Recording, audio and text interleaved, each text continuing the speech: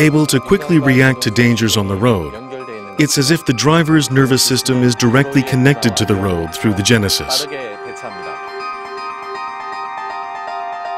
The fusion sensor combines radar and cameras, calculating distance and automatically engages brakes to maintain a safe distance between vehicles.